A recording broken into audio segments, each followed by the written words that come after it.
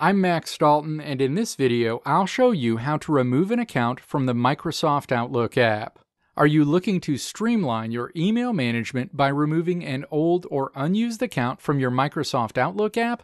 Whether it's for organizational purposes, privacy concerns, or simply decluttering your digital space, you're in the right place. In this video, I'll guide you through the process of removing an account from the Microsoft Outlook app on your mobile device. This simple yet effective task can help keep your email experience focused and secure. Now let's walk through the steps to remove an account from the Microsoft Outlook app.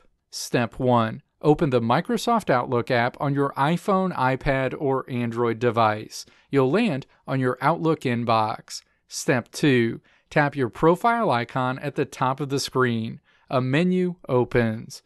Step 3. Tap the settings icon at the bottom edge of this menu. The settings menu is displayed. Step 4. Navigate to the Mail Account section and then find the account you want to remove from the Outlook app.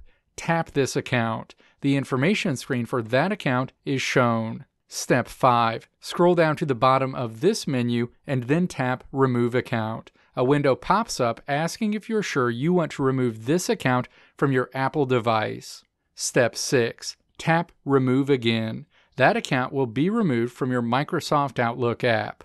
Let me know if this video helped you out in the comments below. If you liked what you saw here, click the video links on the right side of the screen to check out another video. Or click the logo on the left side of the screen to check out my tutorial website at www.maxdalton.how.